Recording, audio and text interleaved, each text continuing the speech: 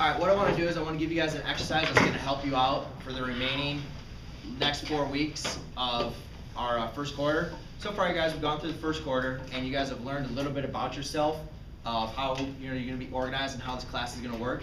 Alright, so you guys all have a green folder that I've told you to keep track of all your work, alright? We just took a quiz, and you guys just saw how you, how you did.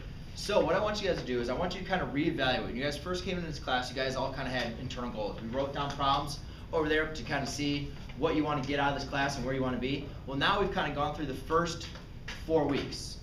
All right, and you guys will be getting your progress reports by um, by the end of this week, where you'll get an exact grade. But for right now, you guys should know of kind of where you stand in this class. So what I want to do is I want you guys to kind of write down three goals that you have in this class.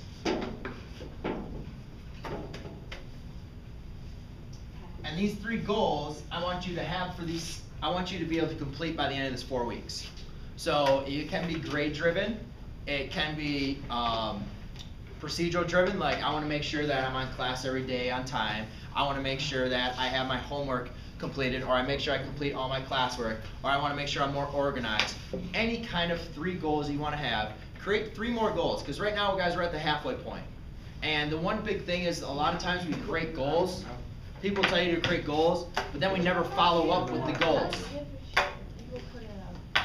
Seriously?